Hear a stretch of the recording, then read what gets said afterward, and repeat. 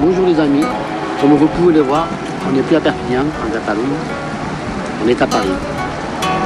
Et je vous invite à aller voir une amie qui m'est très chère, une grande artiste. Suivez-moi.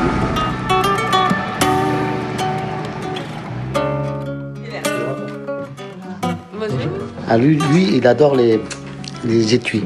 Ah oui, Ça- bah parce que ça c'est que- poils hein, aussi. Oui, il, oui. est- il est Alors, matou. quand, hein, quand il est venu, quand il est venu euh, à Paris, je me souviens, il était tout, hein, il était sur pattes, Ouais. haut sur pattes, Ouais. et tout fait.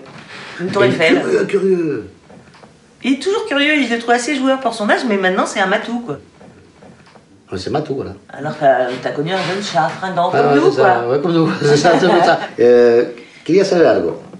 Juste, je, je voudrais savoir un truc qui m'intrigue depuis un moment, même si je le sais.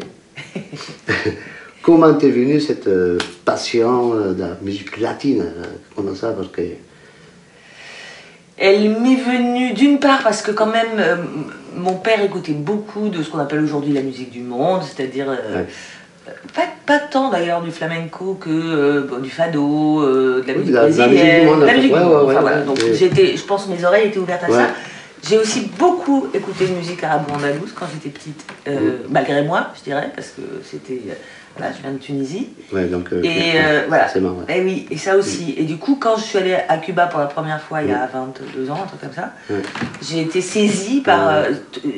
Tout m'a été familier et j'ai adoré toutes ces chansons, toutes ces musiques. Et à partir de là, bah voilà, j'ai rencontré Roberto, etc. Ouais, on, peut, on peut dire en fait que c'est un coup de foudre que tu as eu, euh, une Ça- révélation, une révélation quand tu as été à Cuba. Ah, complètement. Voilà. Complètement, mais en même temps, je pense que euh, en fait, euh, le terrain était prêt, si je puis Oui, dire. oui. Il, y avait, beau- il y avait beaucoup de résonance, mais j'ai mis longtemps à comprendre pourquoi, parce qu'au début, je, je voilà. Oui, c'est qu'en plus, tu as été bien accompagné parce que Ouais. avec Roberto euh, Ouais, ouais. là-bas, je voilà. pense, euh, ouais, il t'a déjà montré pas mal de. Ben voilà, parce que Roberto, il se trouve qu'il jouait de la musique cubaine, mais il jouait du, du flamenco, Du flamenco aussi, c'est ça qui était euh, génial. flamenco, donc C'est ça voilà. génial, parce que lui, c'est vraiment le flamenquiste, mais cubain. Oui, oui. Mais il y a une école flamenquiste Ah ouais, je sais, la aussi. première fois que je l'ai vu. Eh ben. Et oui, tu le sais. Ouais, à La Havane, ouais. Ouais. C'est ça. Ben, je te propose, on pourrait faire une petite chanson, un petit refrain. Hein Con mucho gusto. Allez, hacemos la, la, no sé si fue de ti. Claro. ¿eh? Vale. si fue de ti,